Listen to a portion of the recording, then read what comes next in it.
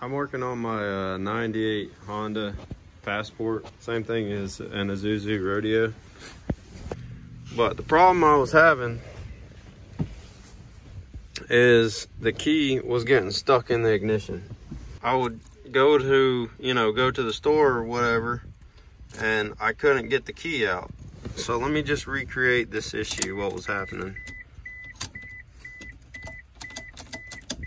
See with this, this is the, the locking mechanism that locks the column. You can't get the key out unless this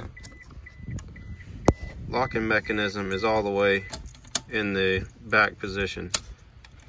And this is an automatic transmission and this thing right here, this locking mechanism,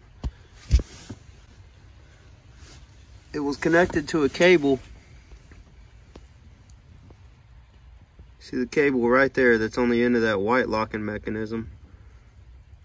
And the cable runs to the gear shift and this is what operates the cable. So the this would pull the cable and release, pull, release.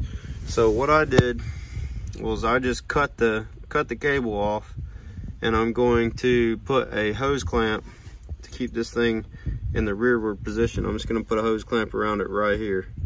So let me get that clamp on and I'll show you what it looks like. All right, I got the hose clamp on. You can see it right here. And that's just essentially locking that plastic piece where you can take the key out always. And it just bypasses the cable system. So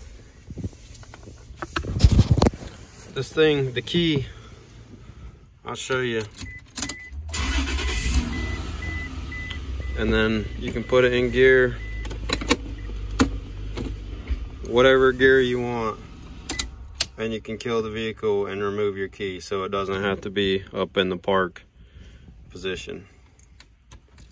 So that's pretty nice. That's how it should be from the factory.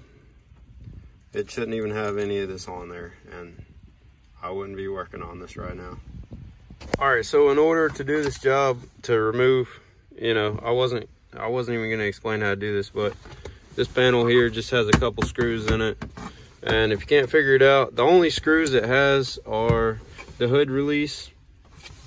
You take two Phillips head screws out and then it has one right here, screw hole here, that mounted down here. So total of three screws and then that thing just pops completely off. And then here's the bottom of the column. You can see each hole you got one, two, three, four, five, six, seven Phillips screws. And then the column pops off and that's how you access the job to do the job.